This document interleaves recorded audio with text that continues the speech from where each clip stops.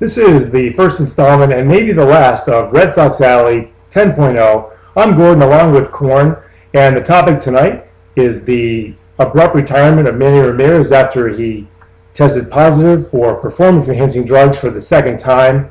And uh, rather than face a 100 game suspension, he decided to call it quits. Corn, what was your first reaction about uh, hearing that news? Manny being Manny, the ultimate Manny being Manny, just uh, thinking about himself, and uh, That's simple, huh? it's all about it's all about. Well, you know, he's been behaving like a two-year-old since uh, since day one, and uh, a lot of it's coming out now, and just uh, it's all about him. He's a quitter. Now, you were He quit, he quit on the Red Sox. He quit on his teammates. True. He quit on his teammates in, in L.A.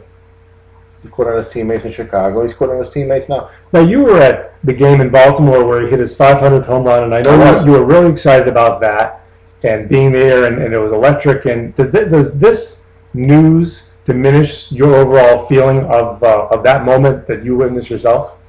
Yeah, a little bit. You know, you, you, you gotta you gotta wonder. You know, but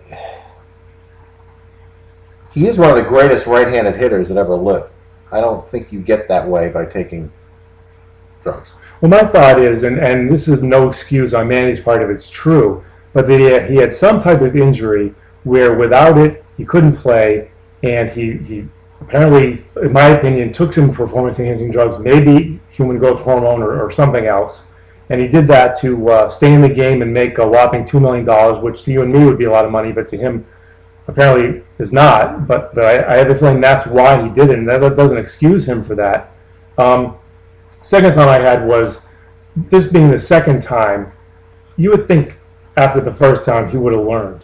And if it was time to call it quits, call it quits and go out with dignity instead of, to me, having blatant disregard for the game by Yeah. testing positive a second time. And, and really, you know, that, that 100 game suspension is, is an awful lot. And uh, I don't think if I were a player that I would dare to even attempt anything that would put my my year in jeopardy. Because 100 games for someone who's his age is a lot of a lot of games. He disrespects. Well, it's a lot of games for anyone, but where he has you know few years left, that 100 games is an awful lot. Where maybe he has one or two years left at the most. He disrespects the game. He disrespects his teammates. Uh, you know, I mean, he acts like a two-year-old. He, you know,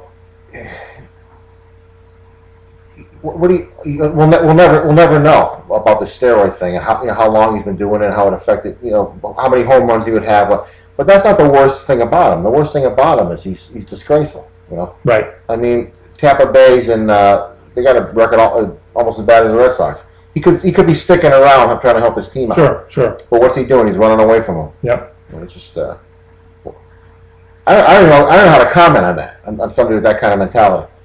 Right. Right. Yeah. Well, thanks for joining us for Red Sox 10.0. We hope this isn't the last episode.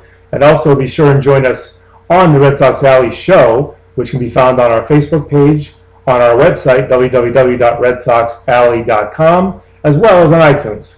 Good night. All right.